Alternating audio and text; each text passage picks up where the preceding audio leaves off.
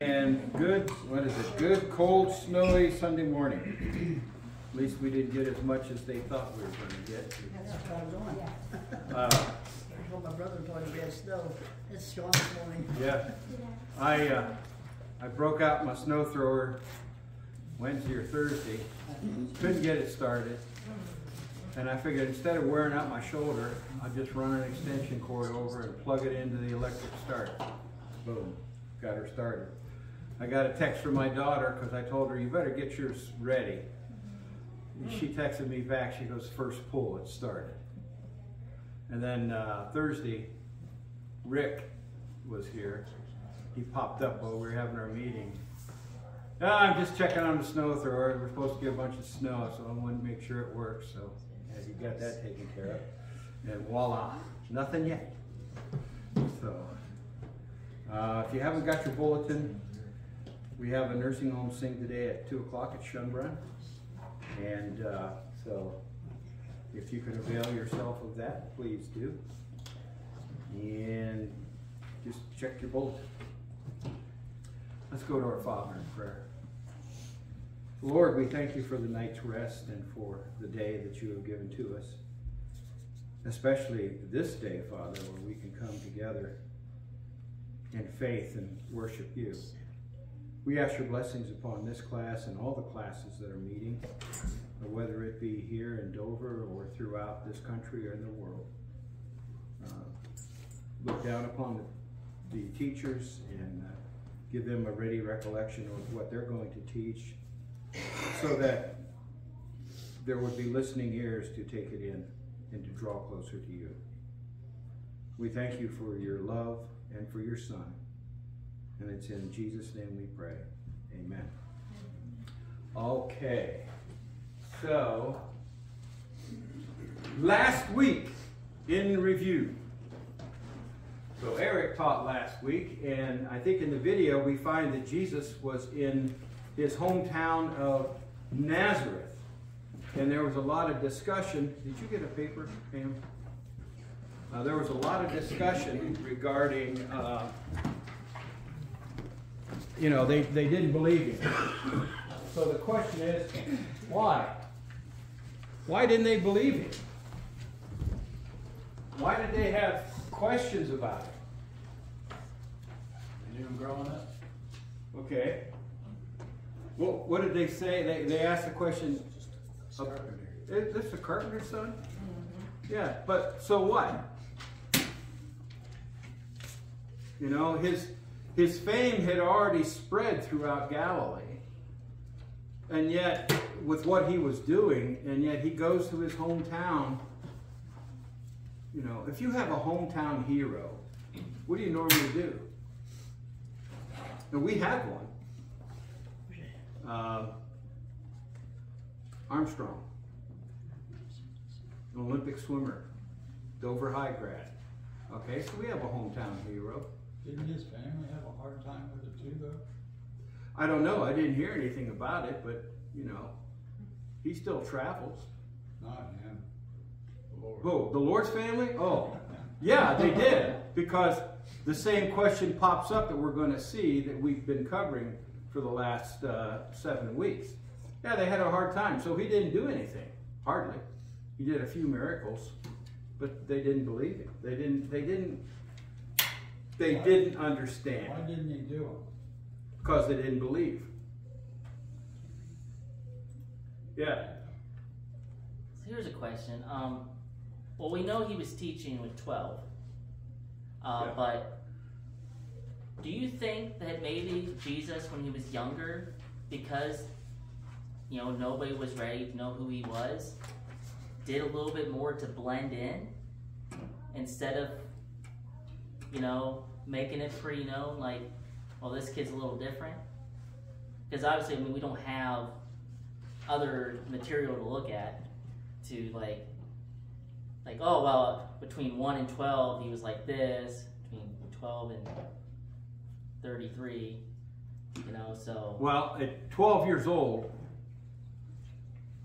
what happened to it? Watered wine. What's that? Watered wine. Not at 12. He wandered off He wandered off. Wandered off. Yeah. He wandered off. He was in the temple. All right. At nine years old, our youngest son wandered off, scared us, and went to Dover Pool to see what it looked like empty. We were at, well, then it was called Park School. But yeah, well, I think he did things that normal kids did. Uh, after that incident with the temple, and, and he was 12 years old, he said he went home and he was subject to his to his parents, and he he grew.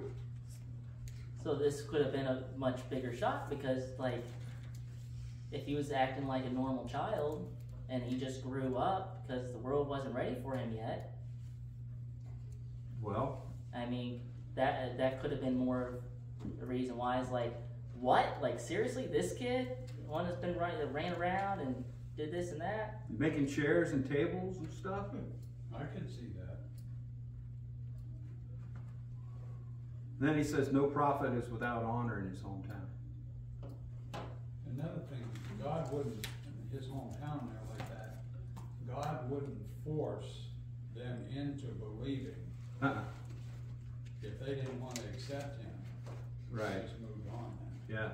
Um, that's like now, you know, if if uh, someone, when my aunt, she would always bring up my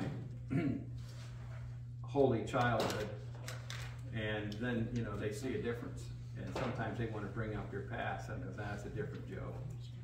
Yeah, that's a different joke, but they they can't accept it. So he, you know, and what was the other saying about Nazareth? So anything good come out of that? anything good come out of there? Well, they did, and they they didn't recognize it. Okay, Jesus sent out his disciples two by two. Okay, and there was a reason for that. However, the question arises: is what about today? Do we go out two by two, or do we do one on one? Or do you go out at all? I think it's easier to go two by two. Uh-huh. But if you're if you're studying with a friend or a, a, a close uh, uh, relationship, is it two by two? Well, you could ask them if they would, if that would bother them. Uh-huh. Is it mandatory to be two by two? So now you you're sitting in your living room and you're watching a movie or you're listening to music. And you hear a rap on the door, and you open up the door, and there's these two fellas in a white shirt and a black tie and black pants. And how many usually are there? Two. And what organization do they usually represent? They're elders. What was that? They're, they claim to be elders, Elders. Uh huh. but they're young men. They are young. I had one time someone walked up my door. It's like, I was like, yeah, I hear the good news all the time every Sunday at my church. Or if I can just go, I can just go get my Bible right now. And they're like, oh, wow, okay. Okay. Yeah. So, I mean, is it mandatory to do two by two? In the New Testament, in the church, we don't we don't know how we know the gospel spread. Did it spread by two by two or one on one or you know? But we know it's we, we knew it spread. And it probably had to do with the relationships of the people. The people saw something was going on with these individuals and wanted to know more. The crowds continued following Jesus. And we've seen that in, in the video. He said they were like sheep without a shepherd. And so the question is what about today? Bad. Are we like sheep without a shepherd? Is the world like a sheep without a shepherd? We have a shepherd. We have a shepherd, yes. And we've been brought into uh, his fold. But what about the rest of the world? They're running here and there and doing this and that, being married, giving in marriage, you know, working a job, going to school, doing all the activities of daily living that we do. Do they have a shepherd? Yes, Some do. they have a shepherd, but they don't recognize the shepherd. They, don't rec- that's a good one, Cindy. They don't recognize the shepherd. Uh-huh.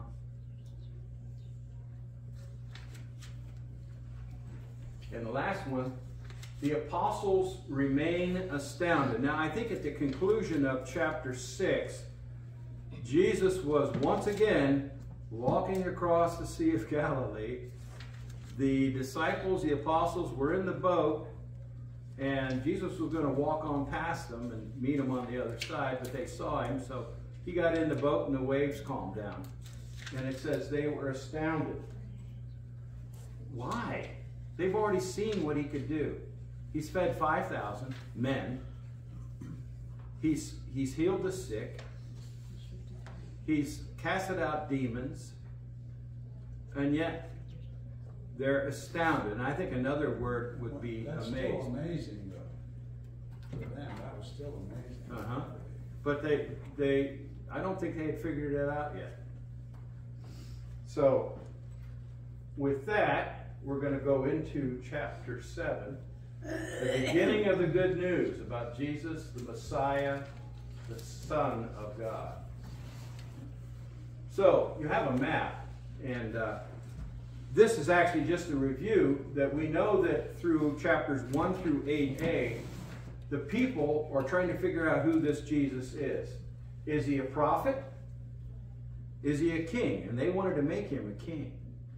Or is he the Son of God? Have they even considered the fact that he is the Son of God? Now, we do know that the demons knew who he was. They didn't have to figure out who this Jesus is. As a matter of fact, they would proclaim it and Jesus would silence them because it wasn't time for him to be revealed. And even when he was doing his miracles, as we'll see later in chapter 7, he tries to tell the people, do not spread this. Don't tell anybody. But it's interesting in uh, when he cast out the, the demoniac that had the legion in it, he says, tell, tell your family and those around. But again, this was in a, or a uh, Gentile area. So we're still looking at this, but we're getting close. So, last week we found him in Nazareth. This week we find him in Capernaum, which is about a 40 mile journey. Okay, so he went back to his hometown. And in the scripture it says he was in the house. If you remember, whose house did he have his headquarters in? It was one of the apostles. No, wasn't Paul. Peter. Peter. Peter and Andrew, his brother. Okay. So that's that's what that was his home base. All right, and then later on we see that, or early on, we see that the scribes and the Pharisees came from Jerusalem to visit Jesus, which was a journey of about 75 miles. All right? So they traveled 75 miles to see Jesus, and we're going to cover some of those reasons why. And then later on in the story, he goes to the region of Tyre and Sidon, which is about 35 miles. All right? And that is Gentile country, of Phoenicia, um, Canaanite area. And then later he goes to Sidon, which was 20 miles north. And then afterwards, he'll, he'll go through um, and end up in uh, Caesarea Philippi and Bethsaida, and he goes in that direction. So, with that in mind, let's watch the video.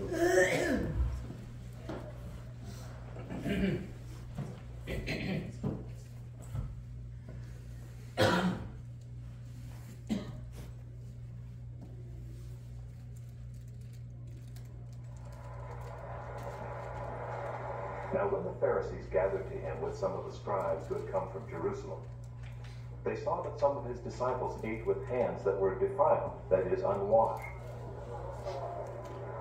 For the Pharisees and all the Jews do not eat unless they wash their hands properly, holding to the tradition of the elders.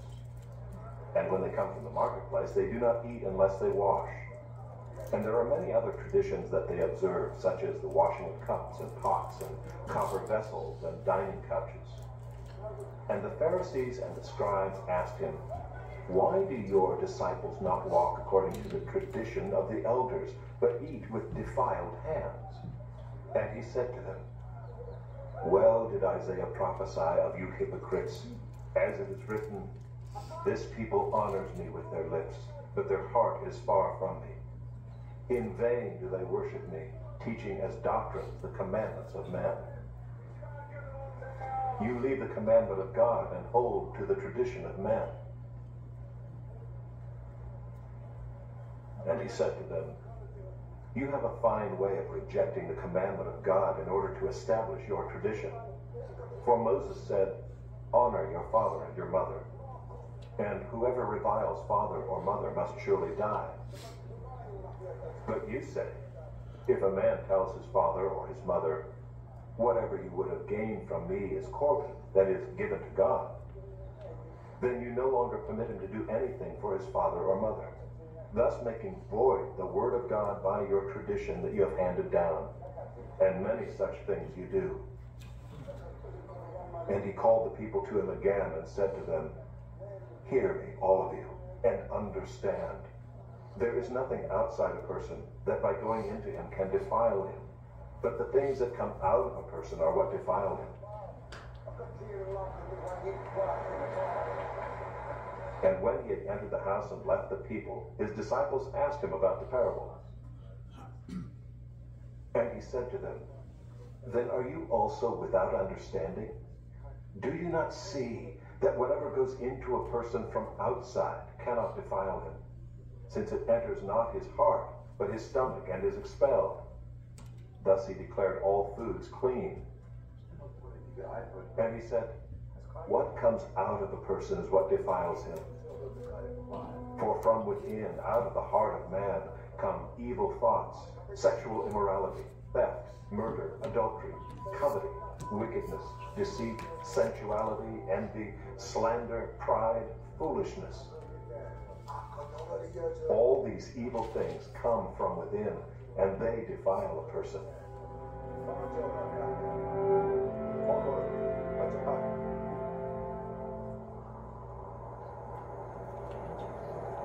And from there he arose and went away to the region of Tyre and Sidon. And he entered a house and did not want anyone to know, yet he could not be hidden. But immediately a woman whose little daughter had an unclean spirit heard of him and came and fell down at his feet.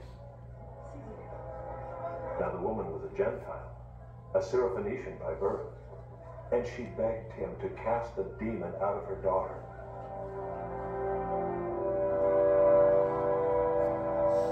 And he said to her, Let the children be fed first, for it is not right to take the children's bread and throw it to the dogs. But she answered him, Yes, Lord. Yet even the dogs under the table eat the children's crumbs. And he said to her, For this statement you may go your way. The demon has left your daughter. And she went home and found the child lying in bed, and the demon gone.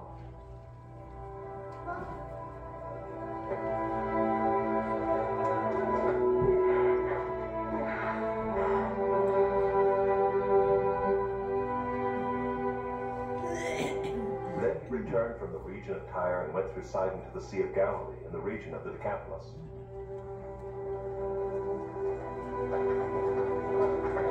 They brought to him a man who was deaf and had a speech impediment, and they begged him to lay his hand on him.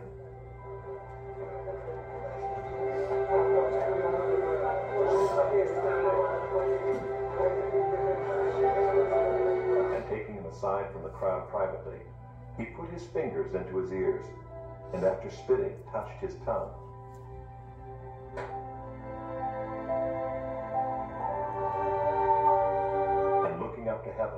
He sighed and said to him, Ephphatha, that is, be opened. And his ears were opened, his tongue was released, and he spoke plainly.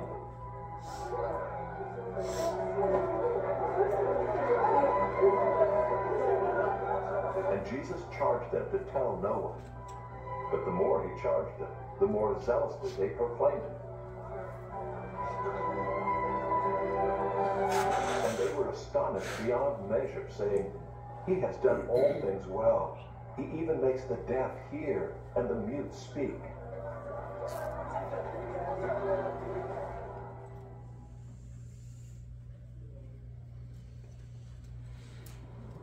And they came over unto Sorry, that's next week.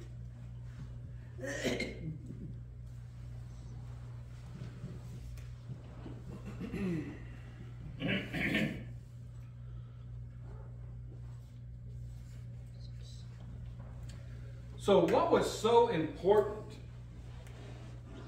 that the scribes and Pharisees traveled 75 miles uh, to see Jesus?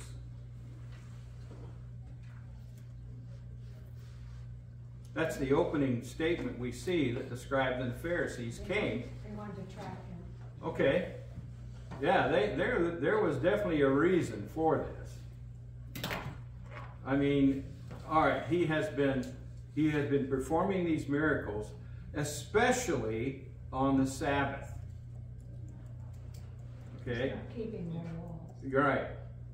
So one of the, the, the their whole their whole purpose was to expose Jesus as a lawbreaker and to find grounds to accuse him.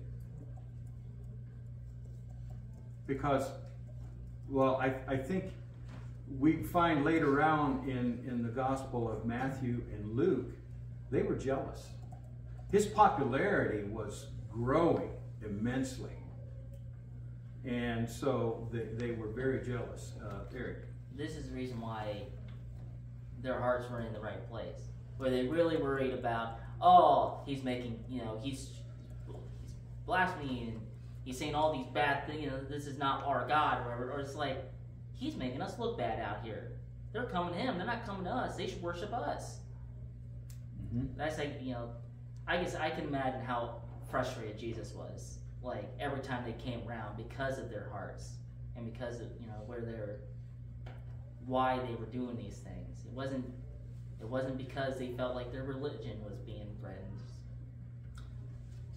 You know, you bring up a good point because we've all been we've all been exposed to people that when they show up, it's doom and gloom, or there's something wrong, or there's something always wrong, and uh, so they always have this cloud on their head, and they want to spread this this storm, and you, you kind of you can take it two ways. Okay, Oh, here they come again. All right, Lord, help me.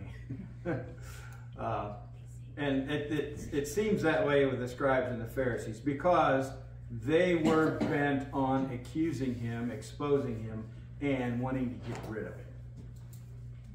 he's a threat to their way of life Yeah, and we're going to see that.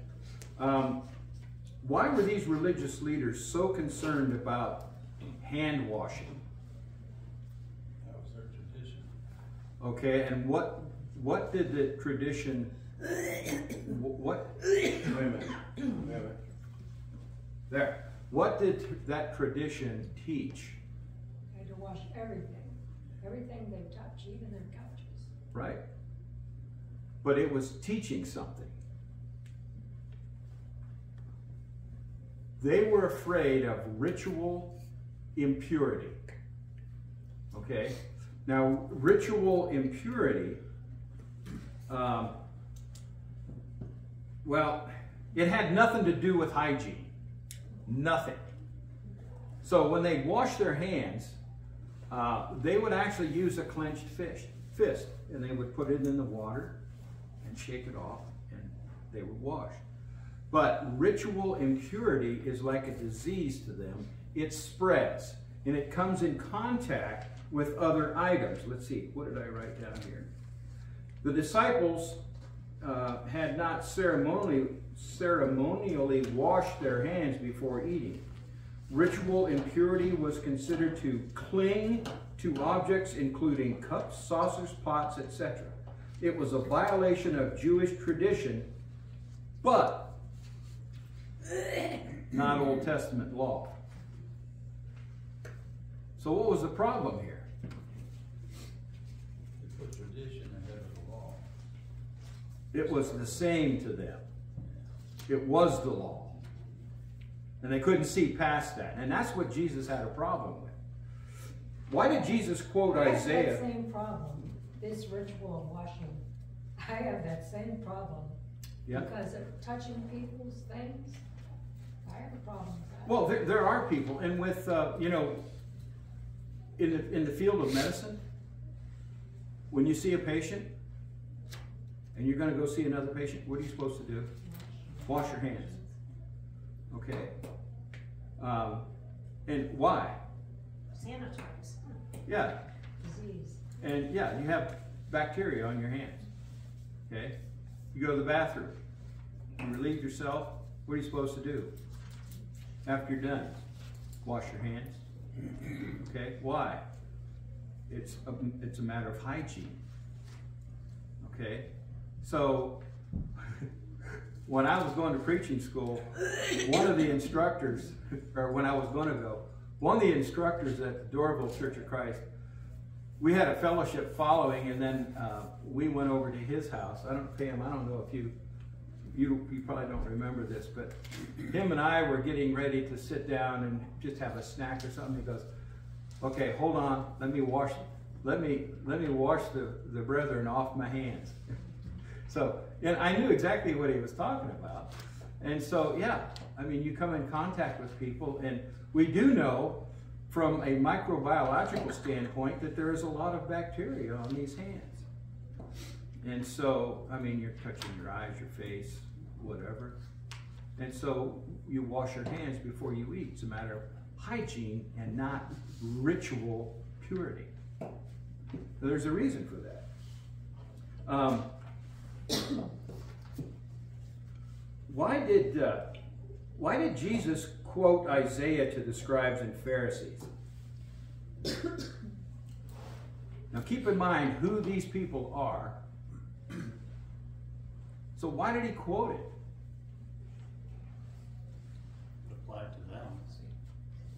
Yeah, because in his opening statement, he said something. Um, he says, uh, one, they were familiar with the Old Testament texts and revered them. They studied them, they revered them. So now Jesus is hitting them with Isaiah 29 13. And he says, As it is written, okay, uh, which is a formula that recognizes the text as authoritative scripture. And so they, they realize that. And uh, the passage condemns substituting God's word for human tradition. And Jewish leaders only pretended to serve God with lip service. Their focus was on external rituals and traditions of human origin. And Jesus was trying to point this out to them, but they could not see it. He's trying to teach them that these rituals you're doing is not doing you any good. It's the defilement that's within Yeah. that's causing your problem. Yeah, exactly right. Yeah, so when you dig deeper into what Jesus is teaching the people, we could actually, you know, on this side of the cross, we can, as we study it, we can see it better. Uh, he doesn't shrink or shy away from the accusation of the Pharisees. As a matter of fact, he even agrees with them to a point, knowing full well that their, the, the motivation for them washing hands is not for hygiene. It was to make their hands holy, or whatever else they're using to make it holy. But it was something that they came up with. It was a human tradition. What is Corban? Dedication to the temple. Yeah, it's given to God. All right? So what about, okay, you have elderly parents and mom, mom and dad, dad's not able to work anymore. He might be disabled or weak. And so, uh, as you are working, you set aside some funds to help your parents. What does the New Testament say about uh, taking care of family? If you don't, it's worse than an infidel. Yeah. Uh-huh. So, how do they get out of it? It's God's money, we can't give it to you. We can't, we can't give it to you. Yeah. So they nullify God's word. Um, It's to, it's to be used for support of aging parents, but more for the temple use. And they nullify it. And Jesus is bringing this to their attention. Do they see it? They don't see it. Yeah, Terry.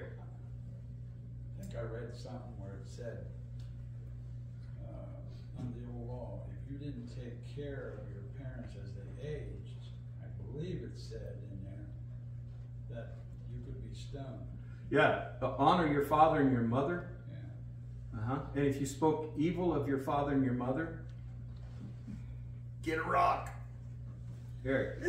Amber's been watching this uh, documentary on Netflix. I don't know which Asian country it is, but they don't. They take care of their parents They do. when they get old.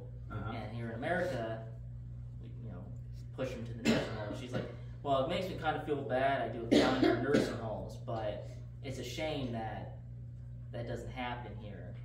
Um, some people do that though.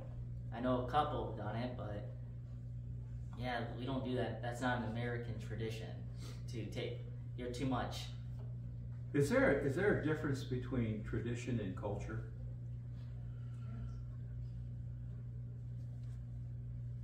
Yeah, I think there is. Uh, Middle Eastern customs, excuse me, Middle Eastern culture. Um, I'm, and I'm talking uh, Mediterranean area. Uh, those families are close knit, and a lot of times they'll do their best to keep that parent there because they're the glue that holds the family together. And when they die, the family kind of goes because the patriarch and the matriarch are gone, and then the family falls apart. I mean, my family is a good example of that. Um, but I, I guess it's it is tradition. In in this country, in nursing home, for some, it is a it is a necessity based on the medical needs of the person. For others, it's a way out.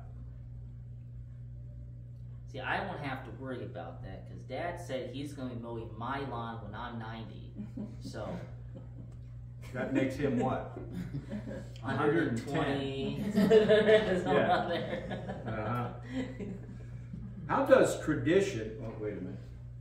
Let's do this. All right, we got that one. We got that one. Oh, wait a minute. Corban today, and I think we kind of covered that a little bit. Um, w- we do give money to the to the uh, to the church for its operations for the spreading of the gospel. But do we do anything? Do we practice Corban? Not like they did. No, I don't think so.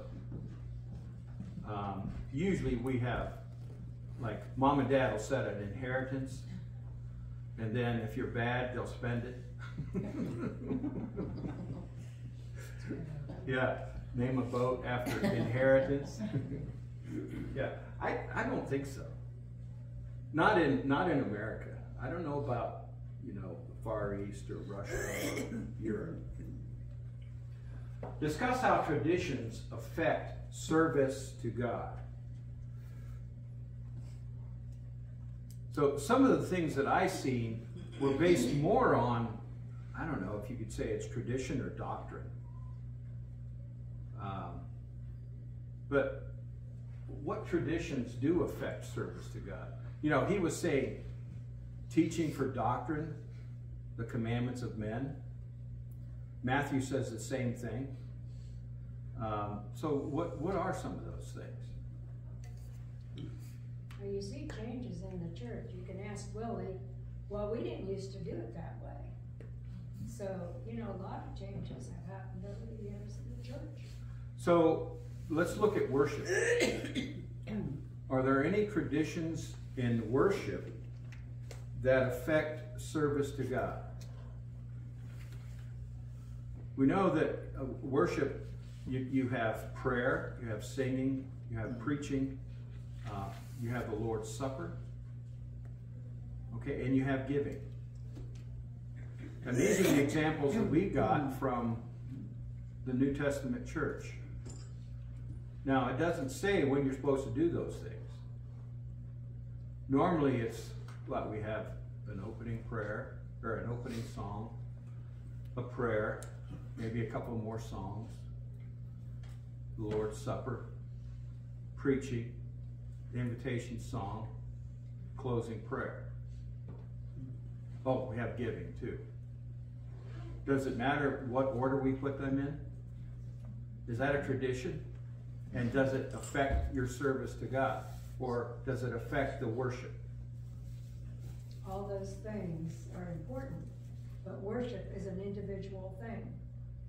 You don't actually need all that. I mean, there are certain things that we're required to do and worship, but to have two songs, and it, it doesn't matter. Worship is what I do in my heart, and it has no bearing on It's spirit and in truth.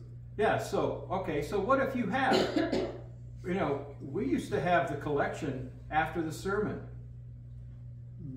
And if it was bad, collection didn't go too well. No, not really.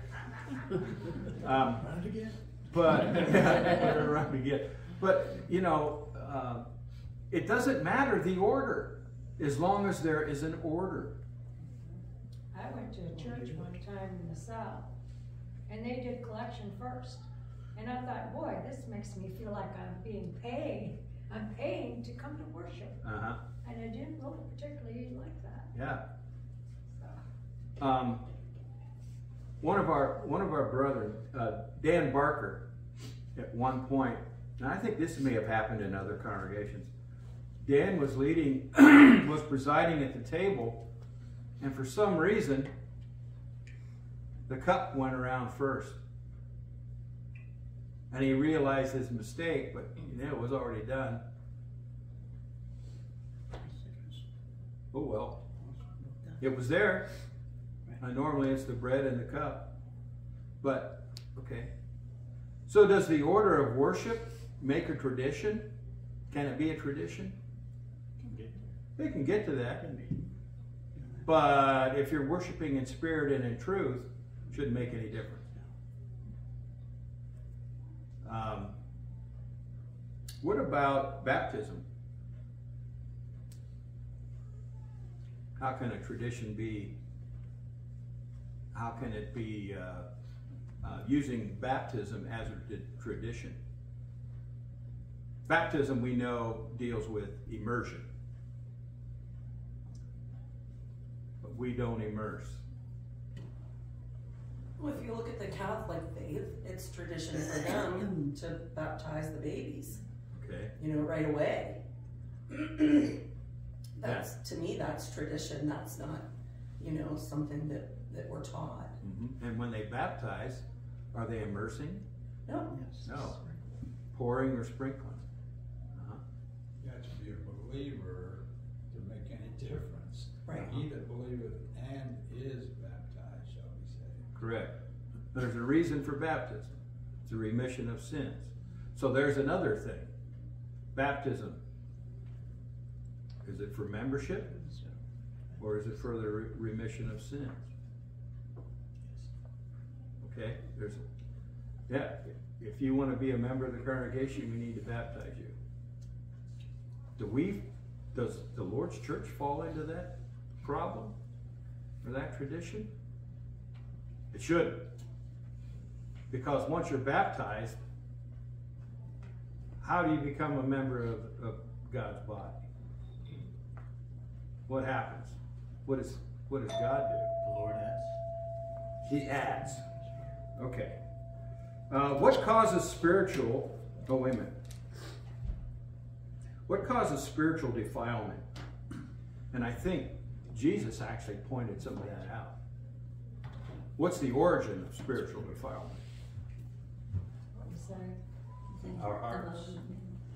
Yeah. What, what was that? The things that come out of a man. things that come out of a man and his heart, not his stomach. Okay, so uh, and he, you know, he. Uh, uh, what I wrote down here was practicing customs or actions that can bring on God's wrath, quenching the spirit, or weaken the spirit to cause a falling away, and that would be the practice of sin, like Jesus pointed out. Okay? So if you continually practice sin, boom. How can a disciple of Jesus keep their hearts from being defiled? And there we go. There we go. So how we can how can we keep our hearts from being defiled? The word shall I store in my heart, I might not sin against you. Oh, very good. Yeah, Psalms. Uh-huh. Store the word in your heart. What we say and our evil thoughts destroy us. Okay? Be quick to hear, slow to speak, slow to wrath. I come up with I come up with several things, just Bible passages. Resist the devil, draw near to God, study to show thyself approved, pray without ceasing, not forsaking the assembly, bearing fruit, and growing in grace. Those are some of the things that I came up with. And so, as you're doing all those things, is it a work? Are those things a work? Work out your salvation in fear and trembling? Would that be a work? Study, praying without ceasing, uh, growing in grace, bearing fruit. I think it's a work. But you're not working your way to heaven. You're working your way to draw closer to God and farther away from Satan's power. Um, why do you suppose Jesus went to the Gentile region of Tyre and Sidon? It didn't say that he went into. However, you know, he went in the region. Why, why would he go to the Gentiles? There's people there he needed to see. Yeah, and I think that's what I came up with. He knew about that Syrophoenician woman. He had to. In the Old Testament, Elijah went and helped the lady, one with the oil and a son, and she was a Gentile. And so he went there. Um, he went, one, to get away from the influence of the Jewish leaders. He was seeking privacy and was to be a guest of someone living there. They knew who Jesus was. His fame had traveled throughout all Galilee, and there were some who came from Tyre and Sidon to hear him. Um, how would you describe the Gentile woman? I came up with three. Actually, I researched it. Came up with three characteristics. One, she approached, she approached Jesus. She was a Gentile. She approached the master, which to me would make her bold. All right? The other one is, as he talked to her, she was still persistent. Yes, but the dogs have the crumbs from the children's table. She was humble. And that was the third one. She was humble. And and Jesus, you know. So uh, what do you why did he why did he speak to her in this way? Wasn't he kind of did you think he was kind of brash when he spoke to her? It's like a riddle almost. See, see if she really knew what what she thought she knew. Uh-huh. Uh, he was testing her. He was testing her. Um, describe in one word the reaction of the people with the healing of the deaf mute. Amazing. Okay, amazing. Uh, I came up with astounded. Okay, same thing. And they still hadn't figured out who Jesus was. And then lessons from the deaf mute. Okay, for the sake of time. The Lord is concerned for individuals as well as the masses. Uh, we are to care for others. We are to give people individual attention. And I love the, the, the scene where he takes that deaf mute and he just takes him off by himself. And he does what he has to do. Um, and then I look to the Father for strength and obey Jesus in all things. Terry. I want to say one thing here. Uh, I didn't figure this out, maybe everybody else did. But when he's saying that to the lady, uh, the children of the Jewish bread is the message, the, uh, children is the Jewish people, and the dogs are the Gentiles. Yeah, well, in that sense, that's how we look at it. But in, in the language that was used, it was a pet dog. So it wasn't as offensive. But yeah, the dogs are the Gentiles. That's where way they refer to it. Yeah. Yeah, but she says, yet, but. So, next week, Mark chapter 8, and we'll be looking at Jesus is now on the way. So, we don't have time for questions. So, thank you for your attention. Make sure you read Mark chapter 8.